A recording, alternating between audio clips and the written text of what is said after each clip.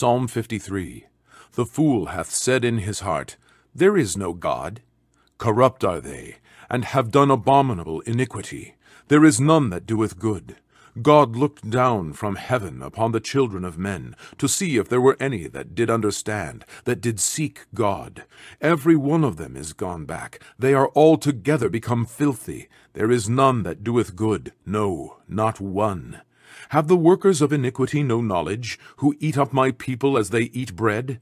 They have not called upon God. There were they in great fear, where no fear was, for God hath scattered the bones of him that encampeth against thee.